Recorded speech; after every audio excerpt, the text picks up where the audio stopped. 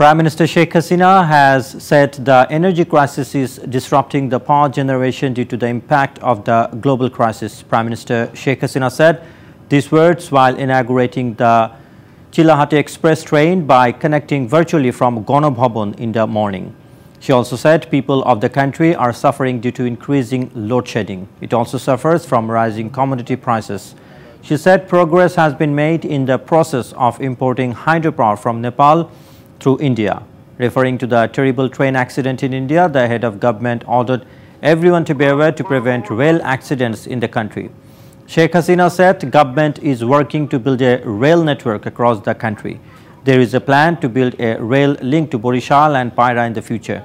Regarding the proposed budget for the new financial year, Sheikh Hasina said our government will implement this budget even though many people talk a lot. Japan is also worried about the human rights and democratic situation in Bangladesh entering the upcoming elections as well as its own business and investment. This was stated by BNP leader Amir Khusru Mahmoud Chowdhury after a meeting with the Japanese ambassador at the chairperson's office in Gulshan. A delegation headed by Japanese ambassador to Dhaka, Iwama Kiminori, held a meeting with the BNP delegation at BNP chairperson's Gulshan office at 10 a.m. on Sunday. The meeting was led by BNP Secretary General Mirza Fakhrul Islam Alamgir, party's standing committee member Amir Khusru Mahmoud Chowdhury and organizing secretary Shama Obaid also participated in the meeting. Later, BNP leader Amir Khusru Mahmoud Chowdhury came before the me media about the content of the meeting. He said since Japan is Bangladesh's friend and development partner, they also have many investments here. Therefore, in view of the upcoming elections, the country's democracy, human rights, and economic situation were discussed in the meeting. BNP has expelled its 19 leaders including independent mayoral candidate Kamrul Hassan for life after they decided to participate in upcoming Borishal city polls. Apart from Kamrul Hassan Rupon, the expelled councillor candidate Mohanagar BNP joint convener and member of Mohanagar BNP. Earlier last Thursday, BNP had ordered them to reply in writing within 24 hours asking why organizations all measures will not be taken against these 19 leaders. Ahead of the Khulna City Corporation elections, the value of slum dwellers is increasing. Candidates are making various promises to get the support of the people who are deprived from citizen charter. However, the voters said they want to elect candidates who are qualified to fulfill their promises. Khulna City Corporation elections to be held for the sixth time on June 12. Every time when election comes, the value of the slum dwellers get increased, which has not been changed this time as well. According to the Bureau of Statistics, the city has 20,658 slum units, where the residents of these units are facing various problems. Candidates are running to low-income people with a bunch of promises to increase civil rights or privileges. People said before the elections, many things were said about the development of the slums. But after the elections, the slum dwellers have to live in fear of eviction. In the proposed budget, the revenue collection target has been fixed at Taka 4,30,000 crores. However, the former chairman of the organization think that it is not possible to achieve the target with the current capacity of NBR. They also think tax automation, reform of tax policy and speedy approval of tax law in parliament are needed to achieve the target. The budget of Taka 7,61,785 crore given by the finance minister for the fiscal year 2023-24 has an income target of Taka 5,03,000 crore. National Board of Revenue NBR has been given a target of collecting 85% of the total income. The finance minister said the revenue collection target that has been fixed is achievable. But the former chairman of NBR considered such expectations of the finance minister to be ambitious. For the fourth time in the proposed budget, an allocation has been made to deal with the adverse effects of climate change. According to experts, even though the allocation has increased every fiscal year, its proper implementation is in the primary stage. In addition to building capacity to understand the science of climate change, they suggest implementation plans that prioritize the most vulnerable populations.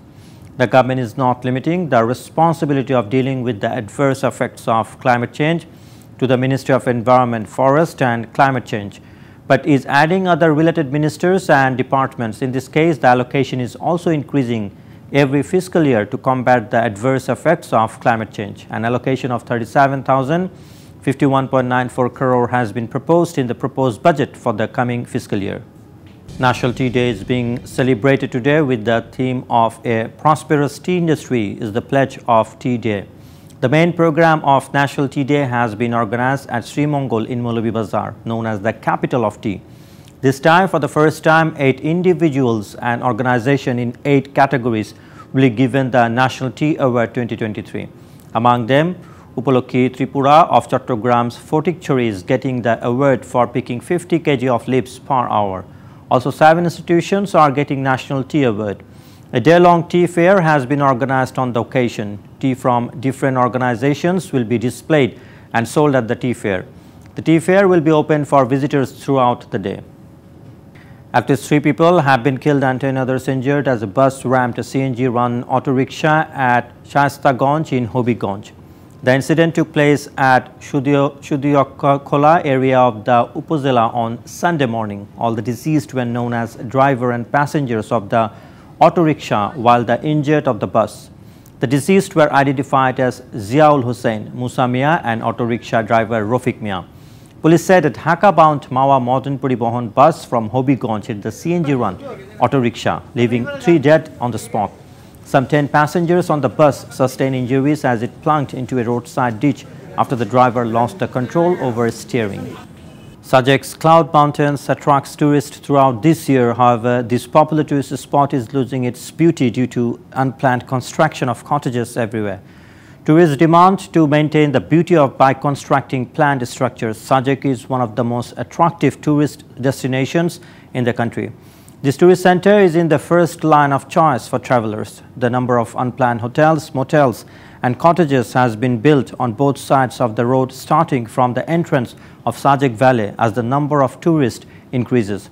Every day 2 to 3,000 tourists travel to Sajek. Everywhere these structures are creating obstacles to enjoy the nature and disappointed tourists.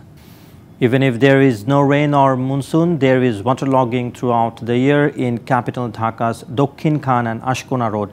Due to the lack of drainage system, the dirty water creates endless suffering for the people. People of the areas in Dhaka North City said they have been suffering for several years. The councillor said the work will start in a few days to solve the problem. The main reason for this is there is no drainage system in the area. Parents and students are also angry about the suffering. Drivers of various vehicles are also in trouble due to flooding. The local councillor said even if there is a little delay, the work will start soon. Despite the good yield, the farmers of Jaipur Hat are disappointed with the price of paddy. The price of paddy has decreased by taka 150 to 200 per month in the span of a week. Besides, the cost of production is high. On the other hand, the price of rice is increasing in Potuakhali for reducing paddy supply. Due to the good weather, the yield of Boro paddy has been 24 to 26 maunds per big bigha in Jaipur Hat. Some lands have yielded up to 28 maunds. The mill owner claimed that the price has fallen due to the poor quality of last year's unsold rice in the market. The authorities have said the action will be taken if there is a complaint of manipulation with paddy. Although the new building was Constructed only five years ago, the structure has collapsed. Non-functioning fan, unusable bathroom, piles of garbage scattered everywhere.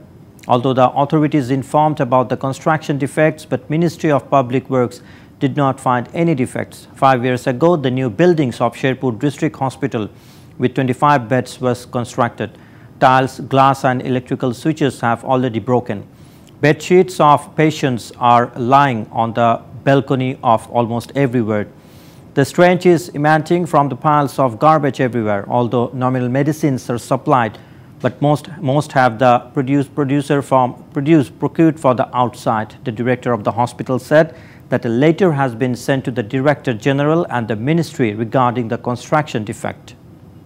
Sweltering heat and hour after hour of load shedding, the two together have left people breathless. Load shedding is at least eight times a day night, somewhere more than that. The Met office, the Met office said no possibility of rain for another five days. The temperature will also remain the same. Heat wave is going on in all over the country. People's life has become miserable due to intense heat. To escape from the intense heat, many people have chosen the shade of trees on the side of the road and the park.